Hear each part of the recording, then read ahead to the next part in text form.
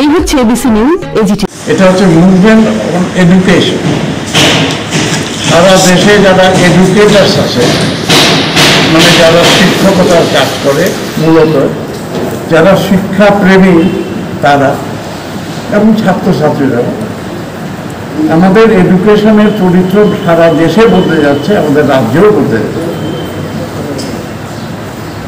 প্রথম কথা দেখুন, আমাদের রাজ্যে প্রতিদিনই দেখেন, বহু স্কুলকে সিবিএসইতে দিয়ে দেওয়া হচ্ছে। সেন্ট্রাল বোর্ড অফ সেকেন্ডারি এডুকেশনে চলে যাচ্ছে। এবং সেন্ট্রাল বোর্ড অফ এডুকেশনে যখন স্কুলটা যায় এটার অ্যাফিলিয়েশন ক্যান্সেল হয়ে যাবে যদি সেখানে রিকোয়ার্ড টিচার্স না থাকে। তাহলে গভর্নমেন্ট এই স্কুলগুলোতে যথেষ্ট শিক্ষক দেবে। কিন্তু বাকি স্কুলগুলোতে কিছু করবে না। তাছাড়া ইদানিং আরেকটা ব্যাপার ঘটেছে, স্কুলের শিক্ষাতে এনজিও এনে ঢুকিয়েছে। এই আকাশ, বাইজুস এরকম আছে। তাদের কাছে কিন্তু education is a business it will be a costly affair তাহলে কি হবে? তাহলে আমার যদি পয়সা না থাকে তাহলে আমি এই এনজিওর কাছ থেকে শিক্ষাটা পাবো না। আমাদের দেশে শিক্ষার অধিকার আইনে বলা হয়েছে। One two